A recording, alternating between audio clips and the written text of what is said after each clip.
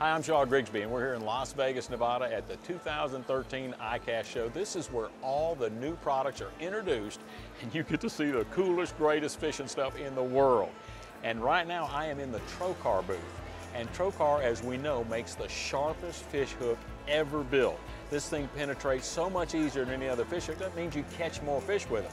And they have the designs for every type of fishing you want, fresh and salt. Well, one of their new ones is a little drop shot hook. Now they've had a little drop shot hook, a little TK180, but this one has a little swivel and it's a little revolver. It's called a helix so that it keeps the spin down.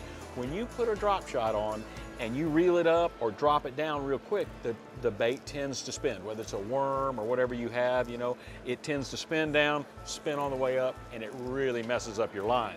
With the little swivel on the end here and this whole little setup, all you do is tie on your little leader to your weight and tie this onto your line to your rod and you're ready to go, eliminating the spin. That means you can fish all day without having an issue.